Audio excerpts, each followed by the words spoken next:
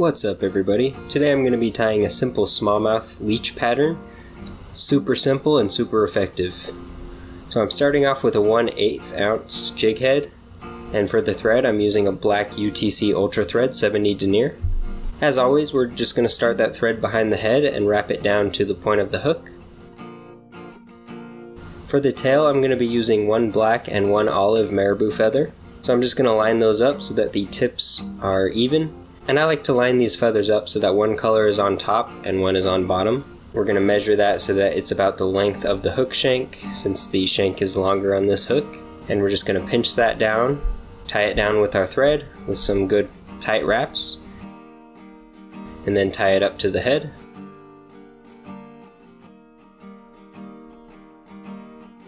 Once we get that secured at the head, we're just going to cut these feathers. I like to do it one at a time, but you can cut both at the same time if you prefer. It's going to leave a lot of fluff here, and we're just going to go over that with our thread to clean it up. You can straighten those feathers if you need to, make sure they look good. For the body, I'm going to be using this olive, black, and gold extra large tinsel chenille. So I'm just going to take a piece of that, tie off the tag end at the head, and bring our tying end down to the tail.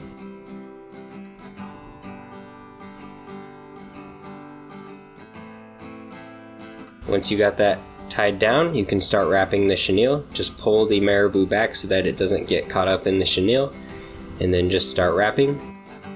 With each turn of the chenille, we want to pull back the previous fibers so that they don't get trapped. We want all the fibers to be spread out at the end. You want to do nice tight wraps, keep the chenille perpendicular to the hook shank,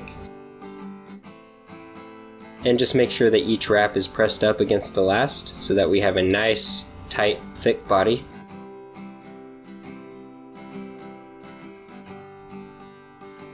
So just keep turning that. Make sure you keep it tight, don't let it get loose.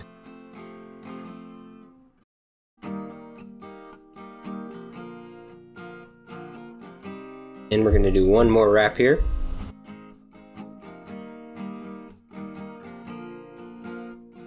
There you go, it'll give you a nice buggy body. And we're just going to tie off that chenille really tight. Just give it three or four really good turns of thread. Then we can clip off the chenille. And then just check it out, make sure it looks how you want it and we're going to pull the fibers back and wrap it down even better. Alright, give it a few more good turns of thread just to make sure that chenille is really tied down and you don't want to trap any of the fibers, make sure they're pulled back really well. And once you're happy with that, you can whip finish. I like to do a five turn whip finish and then just do another one, just a double whip finish, just to make sure the thread doesn't come loose when you're fishing this jig. It gets hammered hard by the fish, and the teeth on the smallmouth like to pull some of the fibers, so you don't want your thread to come loose.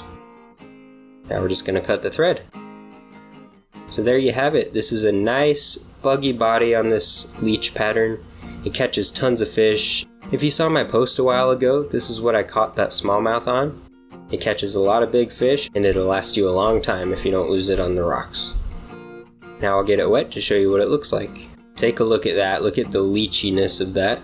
The leeches in my area have black on top and olive on the bottom, so this perfectly mimics that. And of course you can switch the colors to the leeches in your area or bait fish. It also mimics bait fish. But yeah, you can see that that tail has a lot of action, just like a leech. So I like to jig it pretty softly, just to mimic the way the leeches swim. This one never disappoints. Thank you so much for watching. If you enjoyed the video, make sure to like and please consider subscribing.